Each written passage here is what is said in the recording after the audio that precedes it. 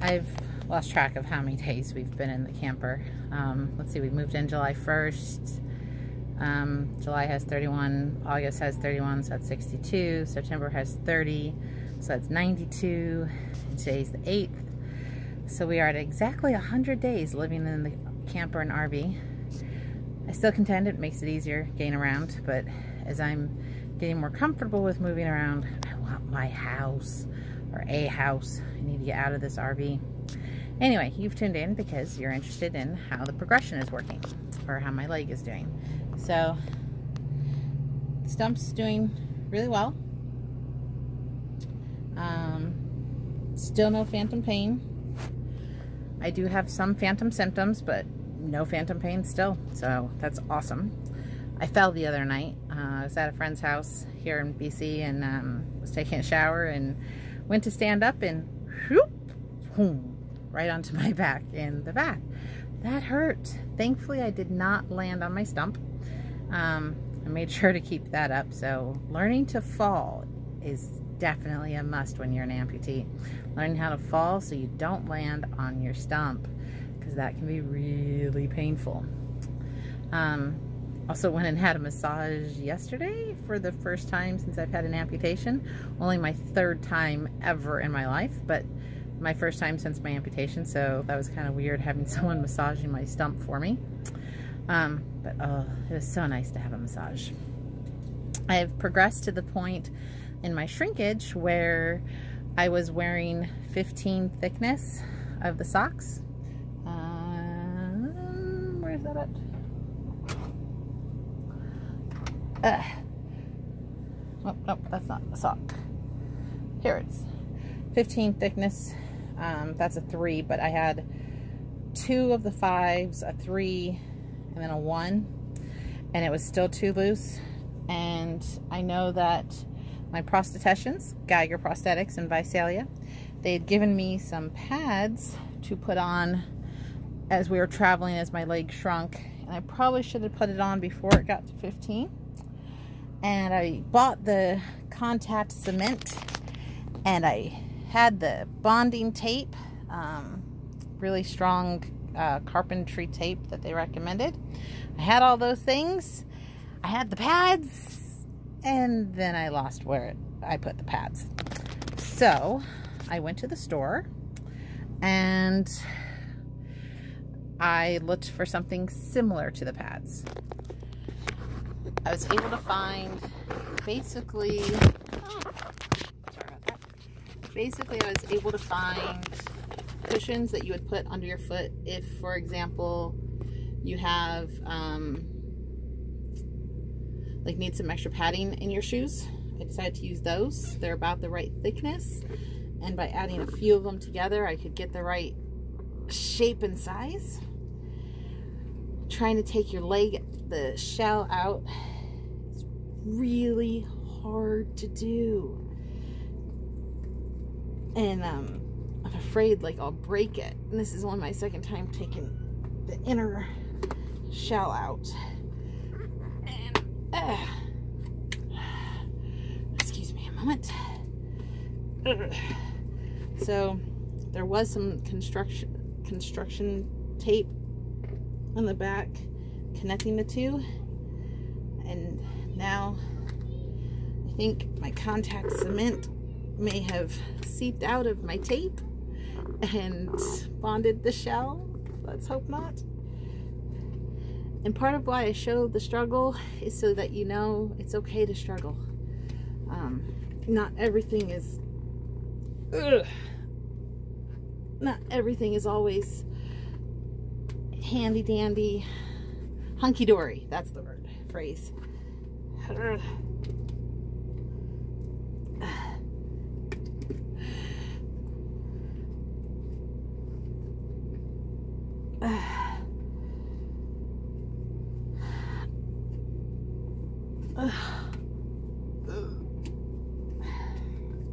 Hopefully your liner, hopefully you'll be smarter than I was and make sure your contact cement is fully dry.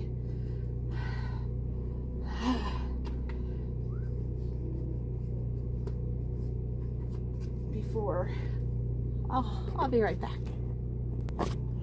All right, I'm back. So I grabbed scissors and um, I'm not exactly sure, but so you can see that I have some of the red construction tape. Um, let's see if you can see. Uh, you can kind of see the outline of the pads. I put three in. Um, I still don't know what I did with the pads previously um, that they gave me designed for this, but you do what you gotta do.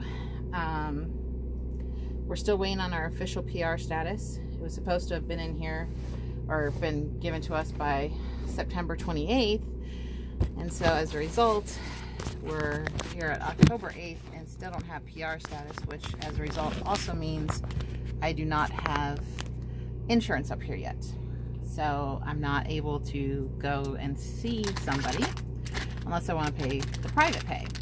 Now, I've gone to see a regular primary and uh, have to say, much better coverage up here. Even without insurance, it was only $70, 70 Canadian.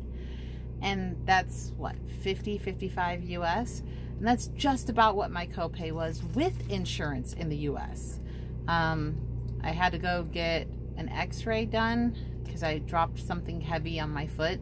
I was like, couldn't it have landed on my prosthetic, my fake foot? No, it had to land on my real foot. Um, so my left foot was all purple and bruised and really sore for several days. So I had to get an x-ray of that to make sure that it didn't break anything.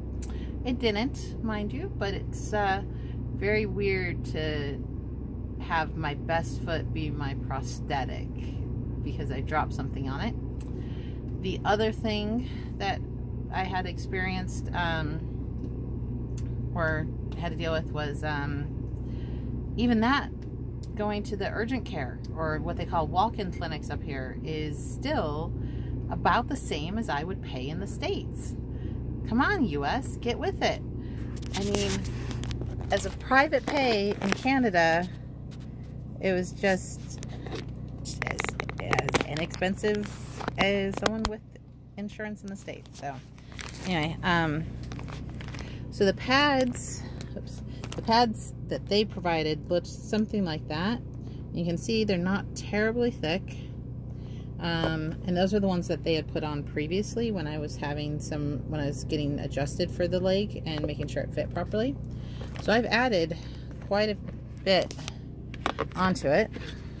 Sorry if the camera keeps rotating on you. Um, so you can see the outline I put three of those on there.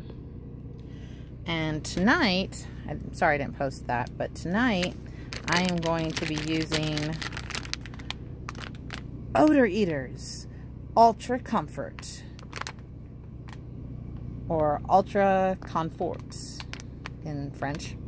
Um, odor destroying insoles or odor destroying calves. I don't know because um, it's going to be up in the calf area because I need it to be thick again because even though I added the padding I needed a lot more because it um I put on the padding and I'm still wearing 10 thickness so I should have been able to get enough padding where it went back to like no thickness or just one or two so the point that I'm at 10 still means I still have, I sh shrunk a lot. Um, and that's good. It's just really fast. Um, so anyway, To open up my insoles.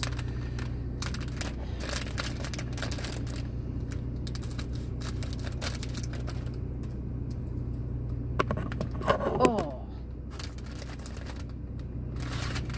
All right.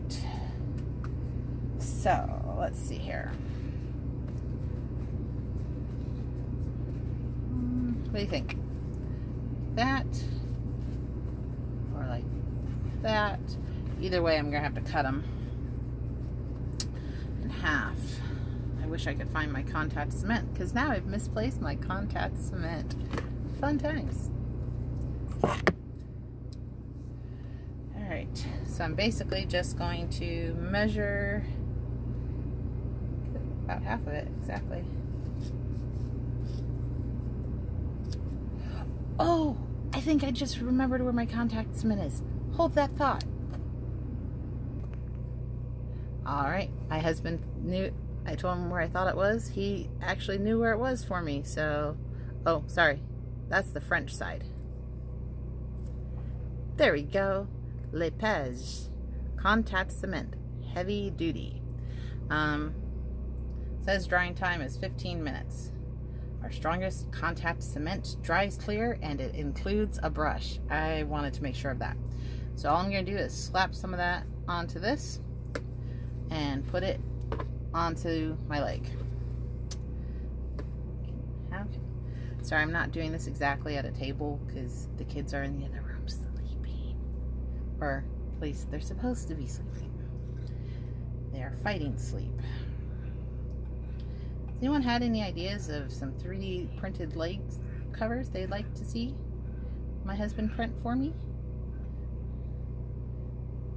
Ugh. I remember where the other one went to. Alright. Just gonna kind of slather it on there. Hard the skin in your way. I want to get a lot on there so that way the other ones weren't really sticking very well. I think because I was trying to spread the contact cement too thin. And considering the contact cement isn't terribly expensive, I just, I don't like putting lots of stuff on, lots of glue.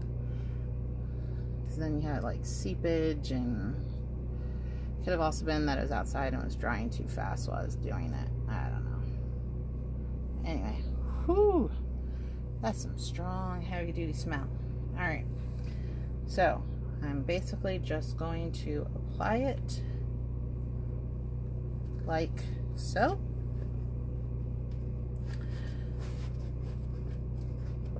And I'm gonna hold it in place.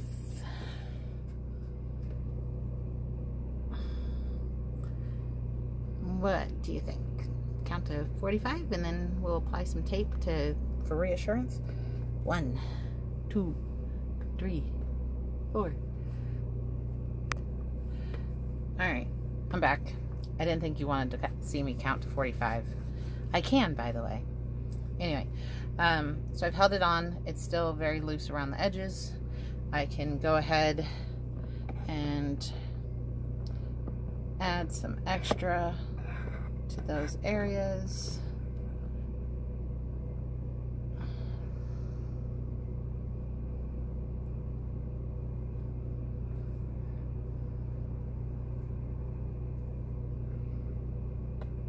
Oh.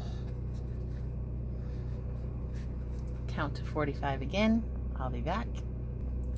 Now I'm not too worried about the sides sticking up because I know I'm going to be putting the duct tape on or the construction tape so that'll help add some reinforcement and I'm actually going to go ahead and do some of that now. I am not going to be putting the construction tape over the whole thing yet because I'm going to do something extra at the bottom because I've noticed when I was walking that the pin that sticks through the leg from my um, stump cover thingamabob, um, it moves a lot more so than the rest of up above. So I think it's extra loose down below. Um, so I want to make sure then that I have the extra like extra, extra padding down at the bottom. Oh, I don't know if you want to see. Um, so instead of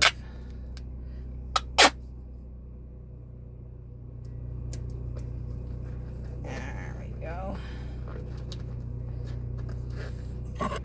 I got these uh, safety scissors. They have a little button. They're supposed to be child-proof, but I think they're more adult-proof than child-proof because my kids know how to work them. I'm going to do one more little strip. I'll just put those down. I don't need to close them every time my kids, like I said, are in the other room.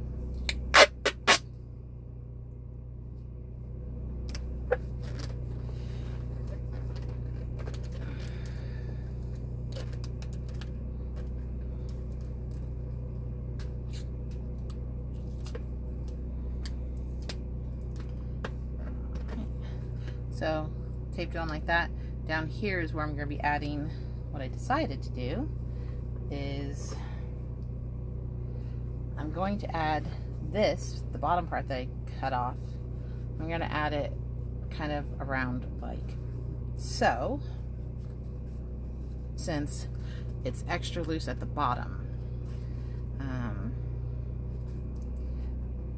so I think though I want to cut a little bit so it'll help shape it because when you try to take a, uh, a rectangle and put it onto a spherical object, uh, the curve prevents it from lying flat. So you want to try to make some sort of cutout to help and accommodate that give. See? So it's a lot bigger like that, but when I lay it down onto a spherical object, it's a lot closer. So keep that in mind when you're adding padding to or rectangular shape. All right, I should probably put this over here. Then I don't have to cross over. I'm learning, I'm learning. Oops, don't spill the contact cement. I, that's also key because that would not be very fun to try to clean up. I also were, was we were able to get our daughter enrolled in kindergarten here, and she is in a French immersion program, and really liking the program so far. Like her teacher, um, and I'm going in tomorrow to talk to her class. Um, I'm volunteering on Wednesdays anyway, but I'm going in tomorrow because and get to talk to the class because apparently the students have questions about my lake.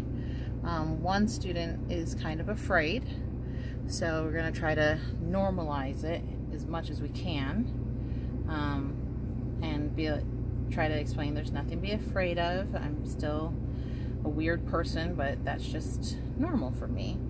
And that there's nothing to be afraid of when someone looks different. We all have differences about us. That's what makes us special and unique.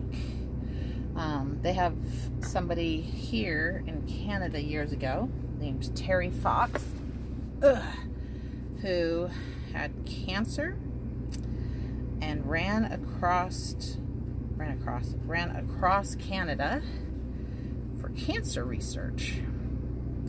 And so every year, I think Terry Fox died, but every year the Canadian students and their classmates do the Terry Fox run. So my daughter did that a couple weeks ago. Anyway, Terry Fox was an amputee um, and was also a right leg amputee, if I recall. Um, so I thought that was cool. So I offered to her school that if they wanted me to come in and talk to any of the students, I'm more than happy to because for me, I think that by talking with others and especially students and little kids and get them to understand that there's nothing weird or scary about somebody with a prosthetic um, can help others, especially if, say, they ever run across a classmate that might have an amputation. Um, it's just happens sometimes. Might notice there's some purple in my hair. anyway, uh, where'd my tape go? So I'm gonna go ahead and put the tape. Oh. oh, seriously, give you a high. Don't do that. That smell is very, very strong.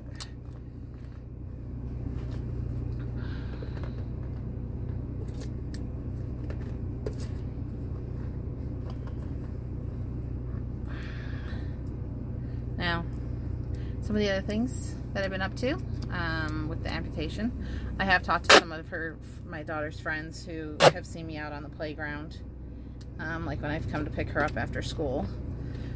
Um, and so I'll answer their questions. I start the conversation sometimes because they're, I can see that they're watching me and are curious of what's going on. Um, and this way they, uh, by starting the conversation with them, it helps to break the, the ice for them and they feel more comfortable then. Um,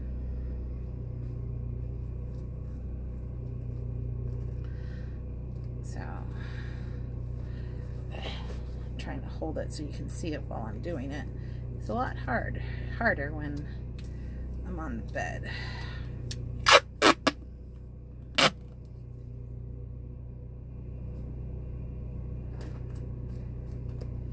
So make sure when you're putting the tape on that you get that triangle to no longer be a triangle.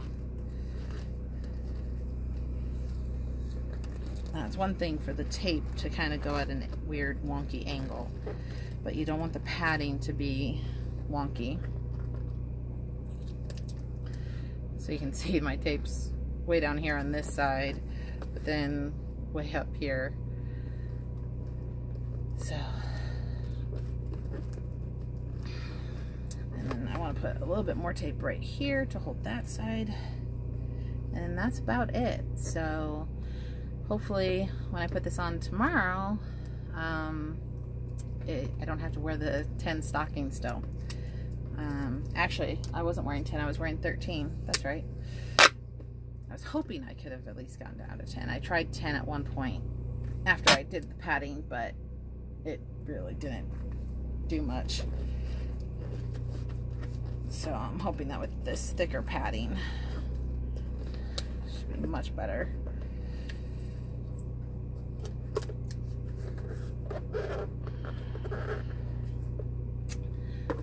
So there we go.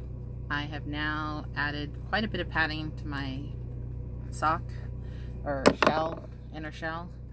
Um, we'll see how it goes does tomorrow. I'll keep you posted on that. I'll post a video and let you know um, but still kind of soft so it'll give some um, but it should definitely help. There's the two that they added on. And um, yeah because I noticed my leg was